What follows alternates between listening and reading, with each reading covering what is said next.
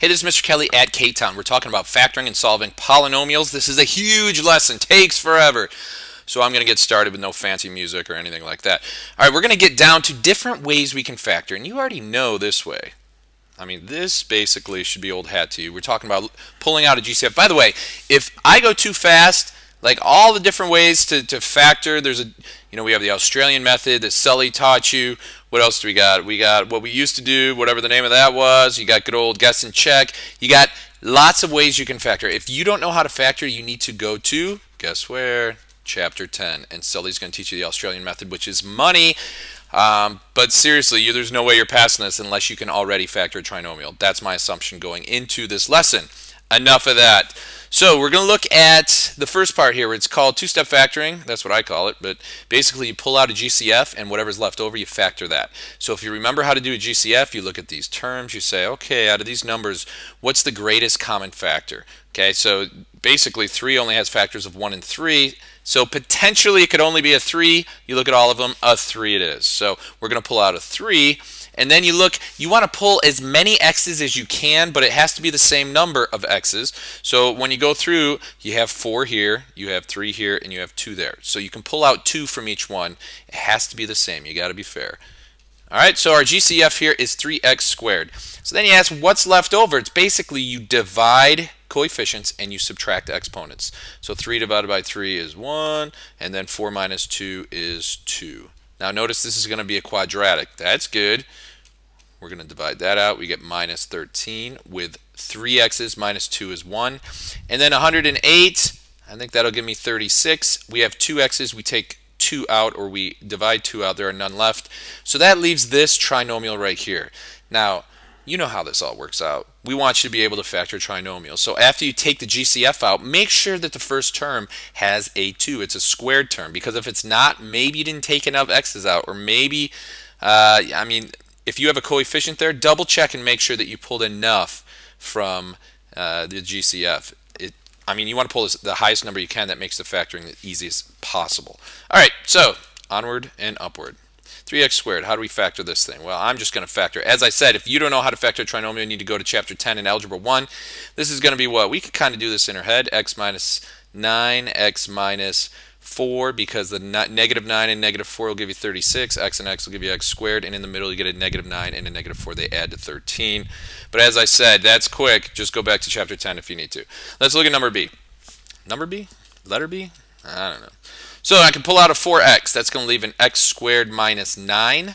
And that second term, you have to be able to identify that. you got to look at it and recognize it as a difference in perfect squares. So that means the 4x is hanging out. This is really x plus 3, x minus 3, if you remember how to do that, because that's a perfect square, that 9, and it's a difference, which means you're subtracting. So final answer here, 4x times x plus 3, x minus 3. I didn't really box this. I like boxing things in. There you go with that. Okay, so that's basically review. You've done that before with Sully. New stuff, factor by grouping. The way this works, we look at uh, each polynomial in pairs. So the first pair here is the 12x cubed and the 10x cubed. What we're going to hope to do is factor out something and what you're left with will be the same on both and then we can factor that out. You're saying, what? All right, let me show you an example. So I'm only looking at the first two here. Out of the first two, should I draw like a dotted line here or something? First two, I get a 2x squared I can take out. It's a GCF, just like above. And then what's left over? I get a 6x minus 5. Okay. Um, can I change this a different color for us? I think I can. I'm going to change it to blue. All right. And you're going to be like, why are you doing that? I'll show you why I'm doing that. And the next one, what can we take out of here? Well, I can see a 3 will come out, and this is negative, so you know what I'm going to do? I'm going to pull a negative 3 out. And let's see what's left over when we pull a negative 3 out. We get a positive 6x minus 5. Oh my goodness, now you know why I changed the color. Okay, well if you notice, they're the same. So, we're going to do a little trick right now. We're going to pull, I mean, look, you have two terms. You have first term, and you have second term. What if it was this? This is a what if, and I'm going to erase this. Don't write this down. Don't write this down. What if it was 2x squared y minus 3y? Could you pull that y out front from both of these? Yeah, you could. Now you know why I said don't erase it, because we're not going to do that. But this is like that y. That whole term we can pull out front. So I'm going to pull it out front. We're going to call it 6x minus 5. And then what's left over? Well, the leftover part's the red part. So 2x squared minus 3. And guess what? That is 100% factored. Well, pretty much, if you don't want to go square roots, which we don't. Um, but that's factored by grouping. So you look at the first two, you look at the second two, you pull out what you can, and hopefully you have the same thing left over in the parentheses. Now, that's going to be a clue. Like after you pull the first uh, GCF out, whatever you have left over, look for that in the second one and figure out what you need to pull out for GCF. Let's do the next one right here. So you might ask, like, when do we know? Like, how do we know when to do this? How do we know when to do that? Whenever you have a cubic, you can't first look for a GCF. Always look for a GCF. Are there GCFs here? No. Okay, so it's probably factored by grouping then. Let's try this one. 24x cubed, 16. I can pull an 8 out of both of those with an x squared. And then what's left over is 3x minus 2. That's what's left over. Now look at the next part. It's a negative 3 and a positive 2. And this is a positive 3 and a negative 2. Guess what? Why don't you pull out a negative 1? Because that will leave negative 3 divided by negative 1 is a positive 3x. And then we'll have a minus 2. Oh my goodness, look right here. You have this term and this term. Let's pull that out of both. So we have a 3x minus 2 in front. What's left over? 8x squared minus 1. And we're done.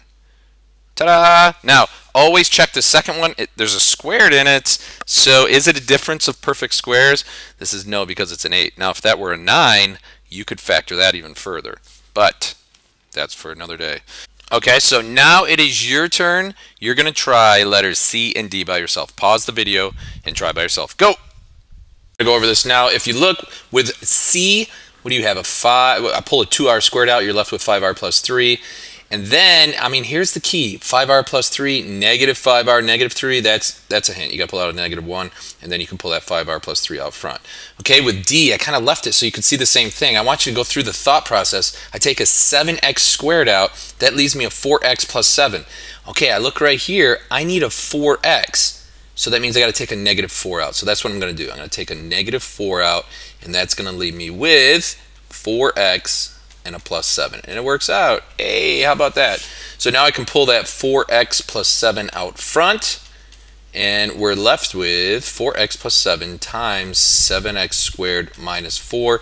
Again, if that 7 were a perfect square, that would go down further like it did up in number 1. Remember our perfect square right there, x squared minus 9? Ah, you remember. All right, so factoring polynomials in quadratic form. Tell you what, before we do this one, let's get a visit from our favorite Flip Mastery meme.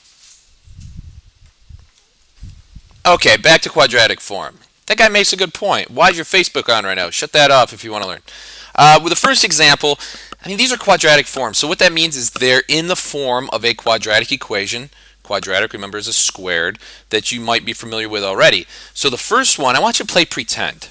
I mean, if Bean can do it with his tea party, we can do it with this equation. Let's look at 25x to the fourth. Let's pretend that it's 25x squared instead of x to the fourth minus 49. Could you factor that? Well, that's a difference of perfect squares. Of course, like these, you could perfect squares there. So we got 5x minus 7, 5x plus 7.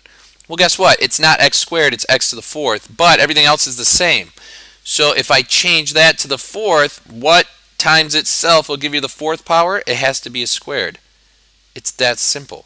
The inside term will give you a negative 35. On the outside, you get a positive 35x squared. They cancel, and you still get negative 49. So this one's all done.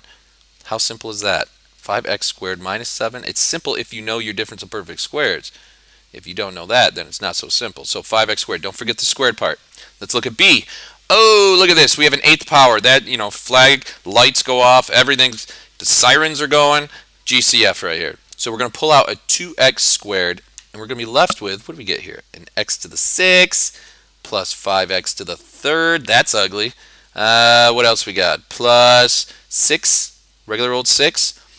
All right, can we look at a quadratic equation? Do we have one up here we can look at somewhere? I don't think we do somewhere. Oh, let's look right here at this quadratic equation. Notice how we go from 2 to 1 to 0 x's. That's a normal quadratic equation. Okay, sometimes the middle term is a 0. Okay, but normally you have a squared term, an x term, and then no x. Okay, now let's double all of these. that'd give you fourth power, second power, still 0. Okay, that's what we had right down here. Fourth power, second power, but it's a 0. Okay, there's a 0 coefficient, and then a 1. Okay, back up here. What if we went one more higher? What if we multiplied everything by 3, all of the exponents? So we'd have 6, 3, and then 0. So that's why this is called quadratic form. We have 630. This is like a quadratic equation, and we can factor it the exact same way. Now, if you can't see this and it's hard for you, then what you do is you write this up here, all right, off to the side. I'm just going to make it a quadratic equation. x squared plus 5x plus 6. How would that factor? All right, well, I need a 6 and a 1, or a 2 and a 3, and we need an x and an x, so I'm going x plus 2x plus 3. That's how that factors. This factors the same way, except you need two terms to give you an x to the 6. That means they got to be x to the third and x to the third. All right, the 2 and the 3 will still give you um, the positive 6. On the inside, we get a 2x to the third, and on the outside, we get a 3x to the third. 2 and 3 is 5, so it works. So that one's factored all the way. I did do a little check to see if these would factor more. They don't because it's both sum, it's positive, but if there was subtraction, then they might. Okay, let's look at C. Oh my goodness. C looks like you know what? I'm looking at C. This doesn't look like a quadratic form because a quadratic equation has three terms. This has four. Guess what? I threw this one in here. Guess what kind it is? Factor by grouping. so let's pull out the x. I'm just doing a little review here. You know, we can do that.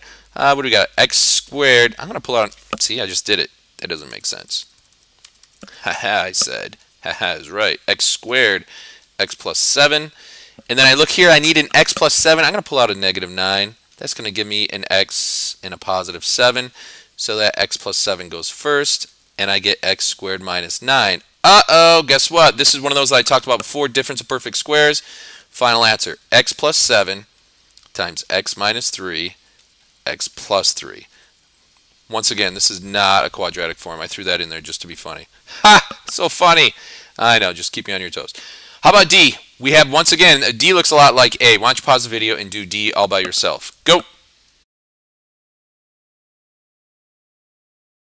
Okay, we're back. Hopefully you tried your best here, but guess what? Did you get this? 4g squared minus 25, 4g squared plus 25? Because this is like 16g squared. That's the quadratic equation that it's like. That's why it's quadratic form. But guess what? We're not done yet because whilst I never use that word. Whilst? What's the difference? Anyways, while this side here, the sum, that can't be factored. This is another difference of perfect squares. So this is going to give you 2g minus 5 and then 2g plus 5. So final answer there. 2g minus 5, 2g plus 5, 4g squared plus 25. Woo! And those are quadratic forms. How fun was that? That was amazing. All right, factoring with cube patterns. Now, Basically, this is a sum. You know what? We need to write this in. Or difference. It's sum or difference. The only difference when it's a difference is that we have negatives, right? That's the only difference with differences. But we have, if you want to, if, if you can notice two terms and they're both perfect cubes. So is this something cubed? Is this something cubed? Okay? Then this is basically what it works out to. I mean, honestly, one day, some guy like Mr. Brust sat down and said, ooh, I wonder how I could get a quadratic equation with a binomial here, and if I work it out so that it, you get two perfect cubes, and that's all you get. And this is basically the formula they came up with, so I'm going to show you how it works. We have 64x cubed plus 27. Okay, this is basically the form a cubed plus b cubed. All right, but we want to break it down into a binomial and a trinomial. So how are we going to do that? We need to figure out what a and b are. So in this case, a cubed would be what? Like what number times itself three times, or what term, not even a number. We're going to have to do a 4 with an x. Alright, so a cubed is going to be 4x cubed. If you take 4x and you multiply by itself three times, you get 64x cubed. 4 times 4 is 16, times 4 is 64, and x times x times x. Alright, how about b cubed? So b cubed would be what number times itself three times gives you 27. That's a 3. So in here, what does this mean? Well, if a cubed is 4x cubed, that means a is 4x. So Wherever it says A, we put a 4x. So here we go. So this is 4x plus b. b is 3.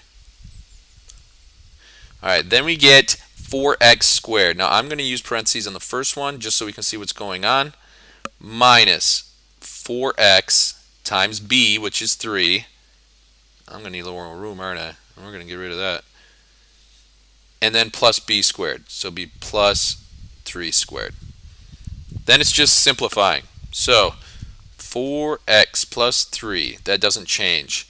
4x squared is 16x squared uh, minus 3 times 4, or 12x, plus 9. And we are done with that. Ta-da! Can this factor anymore? Pull a 4 out, pull a 4 and a 3, pull just 3 out. No, it cannot, so this is our final answer. That is the sum of two cubes. All right, let me show you how this works with uh, negatives here. Let me make some room. Okay, so we have a cubed here. I notice that these are two perfect cubes. So a cubed, like what multiplied by itself three times will give you 8x cubed. That's going to be a 2x. And how about b? All right, so what multiplied by itself three times will give you a negative, we have to think of that as a negative. negative, negative 125. That's going to be a negative 5. Okay, so that's why I said before, it's the sum or the difference, where'd that stuff go, um, of two cubes. So this is really just this still the sum of two cubes. All right? So now it's off to the formula. So we get a, which in this, oop, let me put my cubes so we're clear.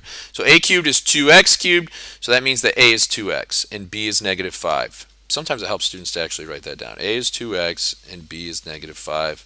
So we're going to write down a, 2x, plus b. So I'm going to write minus 5. You can also write plus negative 5. Uh, equals a squared. I'm going to do that in my head. 4x squared minus ab. So it's minus 2x times negative 5. That's negative 10x. It's minus negative 10x. Maybe it's best just to write all that out. And then plus b squared. So this is negative 5. Negative 5 squared is a positive 25. All right? So the last step, I'm going to simplify a little bit. So we get 2x minus 5 times 4x squared, that's going to be plus 10x plus 25. And that is our final answer for that one. So I did one sum and one difference. Remember I said rewrite differences as a negative b term. Pause the video. You can do C and D, but here's a warning. So first warning, uh, one of these is not a sum of two cubes. One of them is just something else, so you got to figure that out. Second warning, I would look for GCFs in both of them probably. So factor both, go!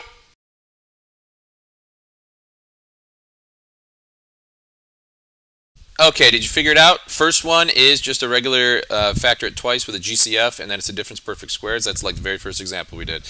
I'm putting these in here just so you can start to recognize them. You should always check GCF and then recognize perfect squares. But the second one is, in fact, a sum of two cubes. So we take out a 2b squared. You're left with uh, basically 2b cubed and 7 cubed. And so we plug it all in, and this is what we get right there. So check your answer. All right, last part. Choose the appropriate method. Here, I'm leaving this up to you. So check for GCFs. You've got three different methods you can do. You can pull out a GCF, you can do a quadratic form, or you can factor by grouping. Automatically, if it has four terms, I'm thinking factor by grouping. If I see like 4, 2, 0, I'm thinking quadratic form. And other stuff, get a GCF. Ready? Pause the video and do those four by yourself. Ready? Go! Pause the video. Okay, let's check it. Let's see how you did. Um, first one here, we take out a GCF, and then that just factors. That's a trinomial that factors. 2x minus 7, 4x plus 3. On the inside, you get a negative 28. Outside, you get a positive 6. That'll give you a negative 22x. Next one, if you're looking at this quadratic form here, we have 4, 2, 0. That's just like 2, 1, 0, if you remember. So it's just like n squared minus 4 and minus 60. That's going to give us n squared minus 10 and n squared plus 6. That'll give us a negative 4. Check each of those. They do not factor. Let's move it along. When you go to C, C is cray crazy. Cray cray. If you look at it, you pull out, this is factor by grouping. You get a z to the fourth uh, pull that out, you get z minus 3. You get 2z minus 3, so you can pull that out front. And then you're left with a z to the fourth minus 16. That's a difference of perfect squares. That's a quadratic form. So that's going to break down into z squared plus 4, z squared minus 4. And then that z squared minus 4 is another difference of perfect squares. So that breaks down again. Final answer, z minus 3, z squared plus 4, z minus 2, z plus 2. That is the craziest one on the whole page. And then lastly, pull out a GCF. And then I have a difference. What do we have? it's a difference which is really the same as a sum of cubes. That they're perfect cubes. So I noticed that. This is basically what you get there for w squared times quantity 2w minus 3 times quantity 4w squared plus 6w plus 9. How are we doing in terms of time? All right, I got about five minutes here to wrap this all up. I don't want a 30 minute video. Why you make a video of 30 minutes, Mr. Kelly? Uh, so we have four examples now. We're going to use the zero product property. We basically, after we learn how to, why do we factor? It's the reason, like, why do we factor all this stuff? See all that stuff? A lot of colors, a lot of colors. But we factor so that we can use the zero product property to solve polynomial equations. It helps us solve them if we can factor it because we know based on the zero product property that if two things are being multiplied, one of them has to be a zero if it equals zero.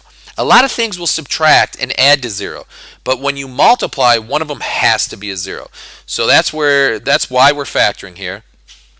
Let's pull GCF out of this one. We get W what minus 5. This one's so simple. Equals 0. Now we have two things here in the equal 0.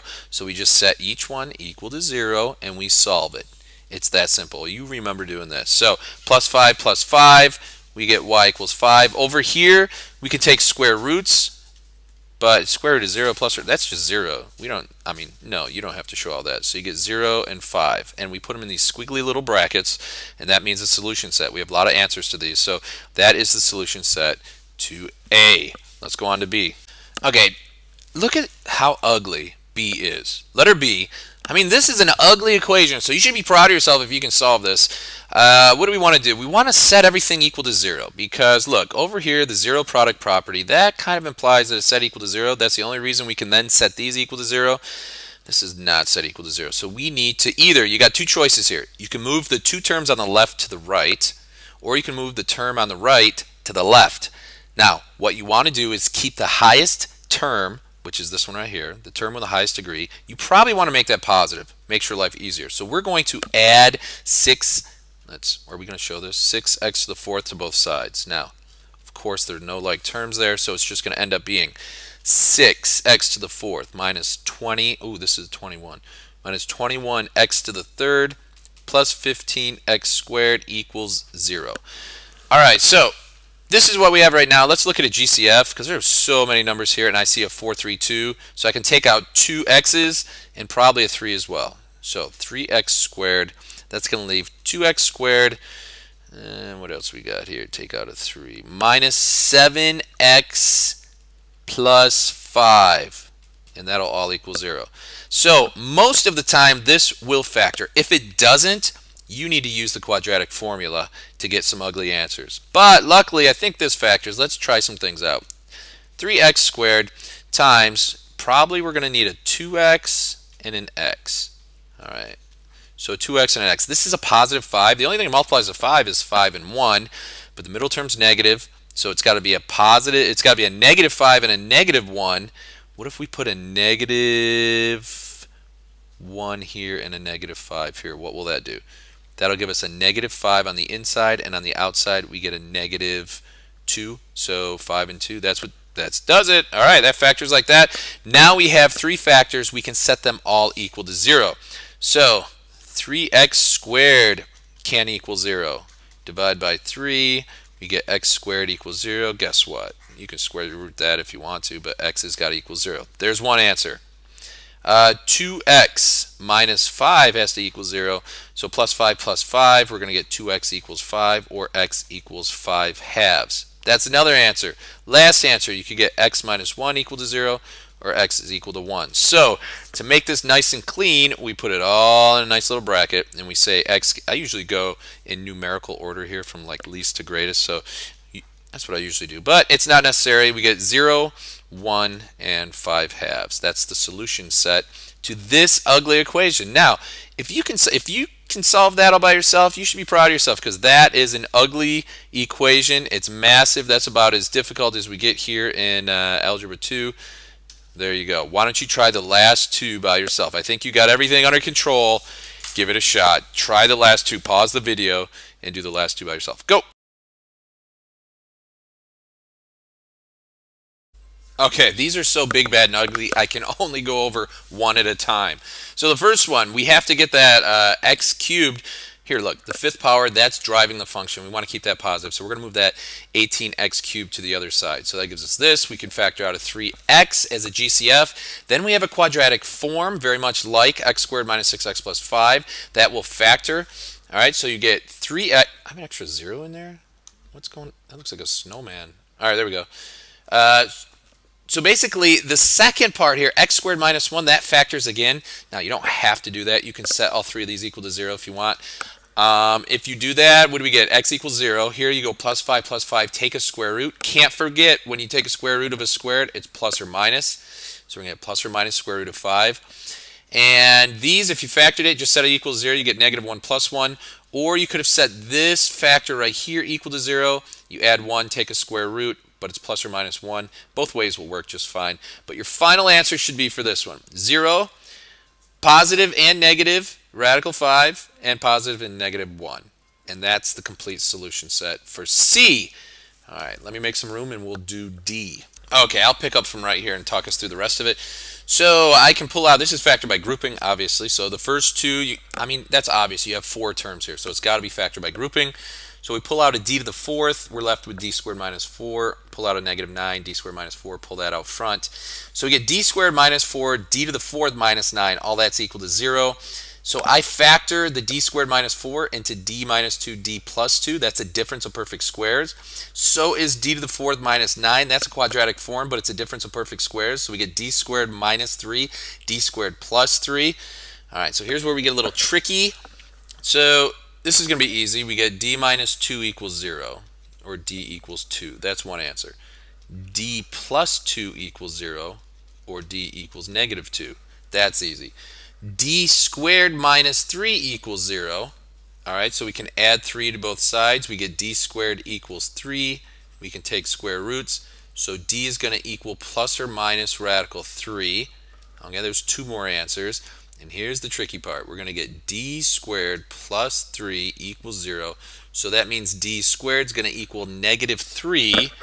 Uh-oh. So we take square roots, and then uh, we have these wonderful, beautiful i's that we're talking about. Remember how to do that? You pull an i out.